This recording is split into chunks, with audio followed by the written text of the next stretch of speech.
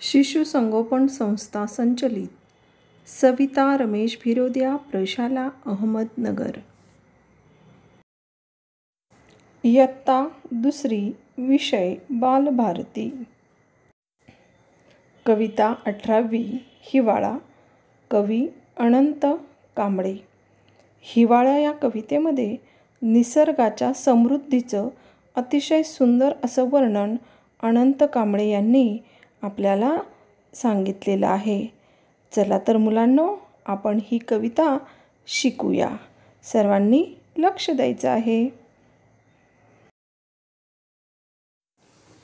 डोंगराच्या पलीकडे शेकोटी जळे शेकत बसलेत डोंगर निळे. पहा मुलांनो या ठिकाणी आपल्याला सूर्योदयाचे वर्णन केलेले आहे. डोंगरामागून सूर्य उगवत असताना आकाश लाल रंगाचे आपल्याला दिसते. आणि असं वाटतं की डोंगराच्या मागे कोणीतरी शेकोटी पेटवलेली आहे. आणि आजूबाजूचे डोंगर शेकोटी भोवती बसून शेकत आहेत असं आपल्याला या ठिकाणी भास होतो. आणि म्हणूनच या ठिकाणी आपल्याला कवीनी असं म्हटलं आहे की डोंगराच्या पलीकडे शेकोटी जळे. शेकोटी जळे म्हणजे त्या ठिकाणी सूर्य उगवत आहे. शेकत बसलेत डोंगर निळे. आणि त्या ठिकाणी असणारे जे डोंगर आहे ते आपल्याला शेकत आहेत असं वाटतंय. उंच आभाळात रंगत जुळे. आभाळामध्ये सूर्योदयाच्या वेळी पिवळा लाल केशरी अशा रंगांच्या छटा तयार आप झालेल्या आपल्याला दिसतात. आणि अशी सुंदर त्या ठिकाणी रंगछटा आपल्याला दिसते. आणि म्हणून कवी म्हणतात उंच आभाळात रंगत जुडे तळ्यात संथ धुके विरघळे. मुलांनो हिवाळ्यामध्ये सकाळी सकाळी आपल्याला सर्वत्र धुके पसरलेले दिसते.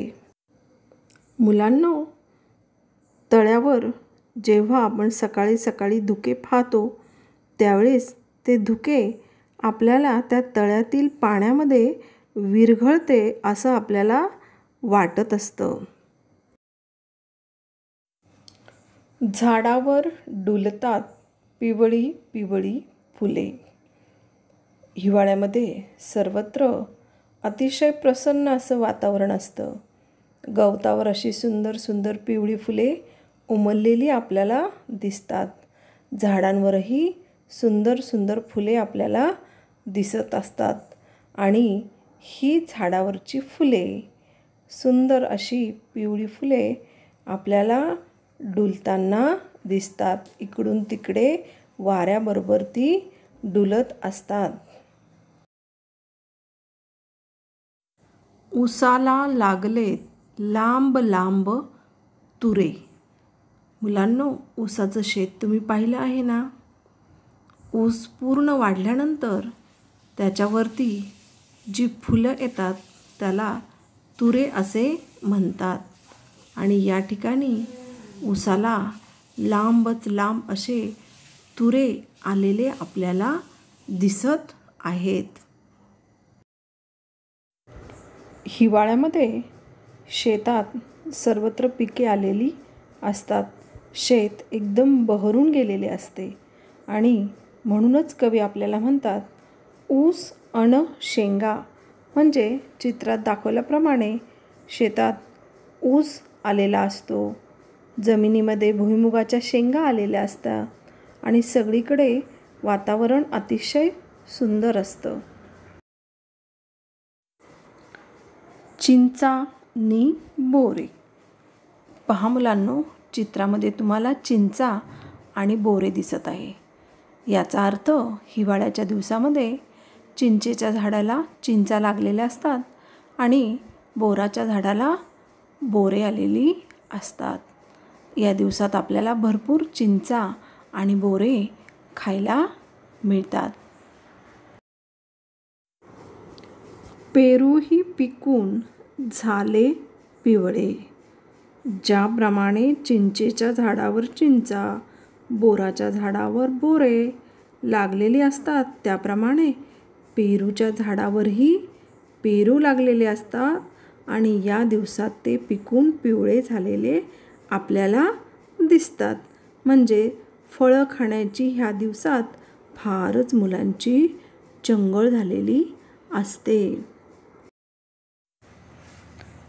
थंडीचा वारा पोटभर चारा. हिवाळ्यामध्ये थंडी पडलेली असते आणि सगळीकडे गार असा वारा सुटलेला असतो. आणि हिवाळा हा पावसाळ्यानंतर येतो. त्यामुळे जमिनीवर सगळीकडं आपल्याला गवत उगवलेले दिसते. गाय म्हैस बैल यासारखे प्राणी हा चारा खाऊन आपलं पोट भरवतात.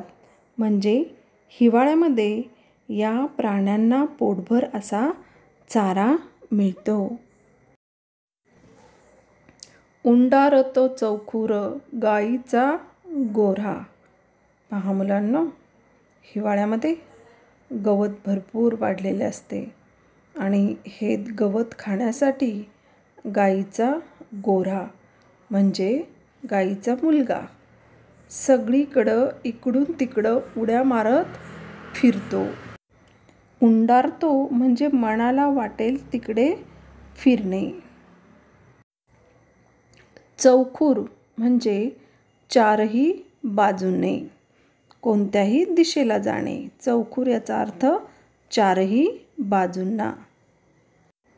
गाईच्या गोऱ्याला सगळीकडं गवत दिसत असते पहा मुलांनो. आणि ते खाण्यासाठी तो सर्व बाजूंनी फिरत आहे. मुलांनो हिवाळा या कवितेमध्ये हिवाळ्यामध्ये असणाऱ्या निसर्गाचं अतिशय सुंदर वर्णन या ठिकाणी आपल्याला दिलेलं आहे. चला तर मग आपण ही कविता म्हणूया. तुम्हीसुद्धा माझ्यासोबत म्हणायची आहे. डोंगराच्या पलीकडे शेकोटी जळे. शेकत बसलेत डोंगर निळे. उंच आभाळात रंगत जुळे. तळ्यात संथ धुके विरघळे. झाडावर डुलतात पिवळी पिवळी फुले. उसाला लागलेत लांब लांब तुरे. ऊस अण शेंगा चिंचानी बोरे. पेरूही पिकून झालेत पिवळे. थंडीचा वारा पोटभर चारा. उंडारतो चौखूर गाईचा गोरा गाईचा गोरा. मुलांनो आवडली ना कविता तुम्हाला? चला तर मग तुम्ही सुद्धा आता म्हणायची आहे. थँक्यू चिल्ड्रन व्हिडिओ आवडल्यास लाईक करा शेअर करा.